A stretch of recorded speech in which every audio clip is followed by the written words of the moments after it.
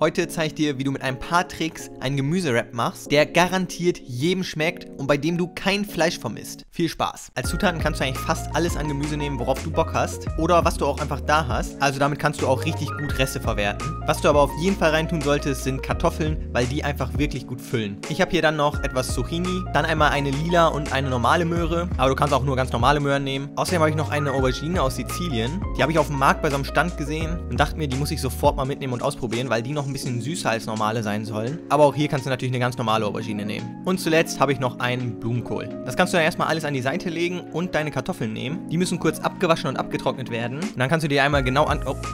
Oh. Und dann kannst du dir die einmal genau angucken, ob die auch wirklich sauber sind und... Oh. Mann!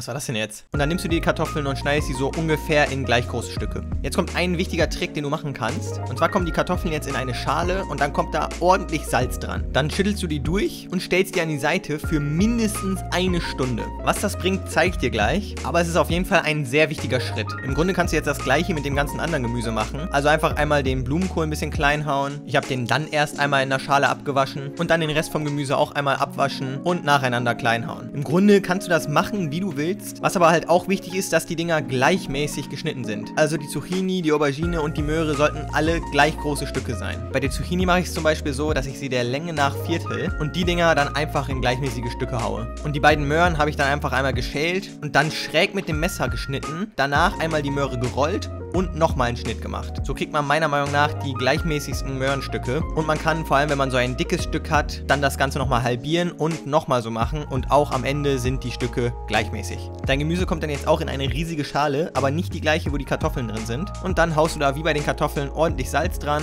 und schüttelst die richtig durch. Du kannst das und die Kartoffeln übrigens auch in einen Sieb tun, wenn du eins hast, was groß genug ist, weil dann kann die Flüssigkeit abtropfen. Aber da ich nur so ein normal großes Sieb habe, muss ich die Flüssigkeit nach einer Stunde abgießen. Und hier siehst siehst du jetzt wirklich, was der Sinn dahinter war. Das Gemüse hat nämlich jetzt richtig viel Flüssigkeit verloren. Und diese Flüssigkeit wäre später natürlich auf unserem Backblech. Und dadurch würde es einfach nicht so knusprig werden, wie es kann. Das war jetzt nur die Flüssigkeit aus den Kartoffeln. Hier kommt noch die Flüssigkeit aus dem ganzen anderen Gemüse. Das Dunkle ist jetzt übrigens kein Dreck, sondern das kommt einmal von der Aubergine und von den Möhren. Und durch dieses Liegenlassen mit dem Salz haben wir jetzt dafür gesorgt, dass diese ganze Flüssigkeit schon mal nicht in unserem Essen landet. Als nächstes würde ich dir empfehlen, die Kartoffeln einmal abzutupfen, sodass wirklich auch die ganze Flüssigkeit von außen weg ist. Dann kannst du sie wieder in deine Schale tun tun und ein kleines bisschen Olivenöl dran tun. Dann musst du es nur noch würzen mit den Gewürzen, auf die du Lust hast.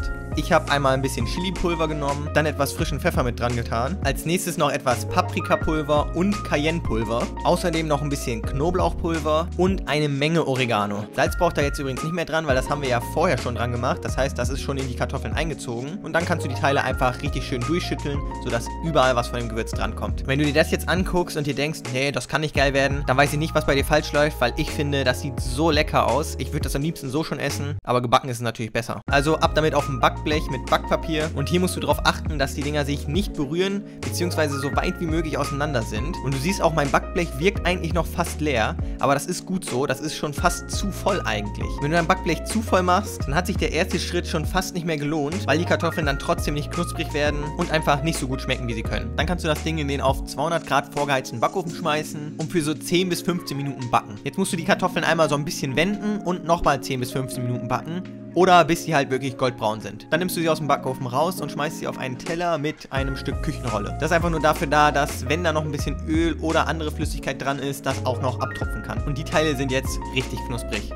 Aber das war natürlich noch nicht alles. Du musst noch den Rest vom Gemüse machen. Das würde ich ähnlich wie die Kartoffeln einmal auf ein bisschen Küchenrolle legen und etwas abtupfen. Und ich habe dann nochmal das Zeug ein bisschen zusammengedrückt, um noch mehr Flüssigkeit rauszuholen. Das musst du jetzt nicht unbedingt machen, vor allem wenn du nicht so viel Küchenrolle verbrauchen willst. Ich habe das aber jetzt trotzdem mal gemacht, um dir zu demonstrieren, wie viel Flüssigkeit da immer noch drin ist. Und du siehst es halt hier beim Auswringen, da kommt noch richtig was raus. Das würde halt alles rauskommen, wenn du es noch länger liegen lässt oder sogar in einem Sieb abtropfen lässt. Jetzt aber erstmal wieder die ganzen Gewürze dran schmeißen. Dann ist mir noch auf aufgefallen, dass ich bei den Kartoffeln das MSG vergessen habe. Deswegen schmeiße ich hier ein bisschen mehr mit dran. Dann auch hier noch ein bisschen Olivenöl dran und alles richtig schön durchwerfen. Einen Teil davon aufs Backblech legen und bei der gleichen Einstellung backen, bis alles schön gebräunt und ein bisschen knusprig ist. Da ich ja die Dinger getrennt in den Backofen geworfen habe, schmeiße ich kurz bevor das restliche Gemüse fertig ist, die Kartoffeln einfach mit aufs Backblech und vermische alles gleichmäßig. Und dann nehme ich mir noch meinen Wrap und mache den ordentlich nass und schmeiße ihn auch mit drauf. Dann kann das Ganze nochmal für ein, zwei Minuten in den Backofen und eigentlich bist du dann schon bereit, um das Ding zu bauen. Das Teil wird dann gleich mit Mayo belegt, aber hier kommt nochmal ein Pro-Tipp. Nimm nicht einfach irgendeine Mayo, sondern mach dir einfach eben eine richtig gute Knoblauch-Mayo selber. Das ist richtig easy und dafür musst du eigentlich nur ein frisches Ei trennen und das Eigelb in deine Schale tun. Dazu den Saft von einer halben Zitrone schmeißen und noch ein bisschen Dijon-Senf oder wenn du den nicht hast, ganz normalen Senf mit dazu schmeißen.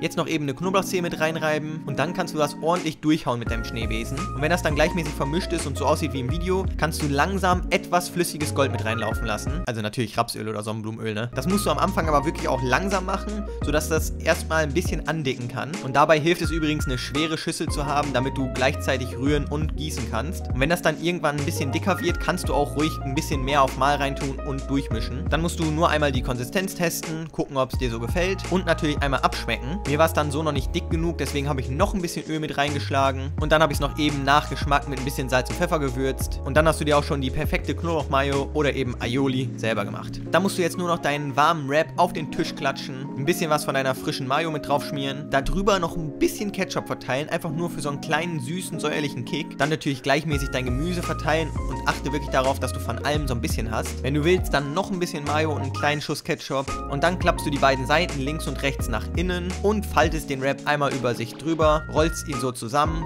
und fertig. Eigentlich muss man da natürlich jetzt so direkt reinhüpfen, aber ich habe es für dich nochmal einmal zerschnitten, damit du auch reingucken kannst. Und das hat sich auf jeden Fall gelohnt. Schau dir das Ding mal an, das sieht wunderschön aus. Und das Teil gönne ich mir jetzt mal und glaub mir, es hat mich wirklich umgehauen. Es schmeckt so gut und man glaubt überhaupt nicht, dass da eigentlich nur Gemüse drin ist. Aber einer der Gewinner ist auf jeden Fall diese Aioli hier. Die haut richtig rein mit den ganzen Gewürzen an dem Gemüse dann und davon könnte ich mir wirklich 10 Stück reinziehen.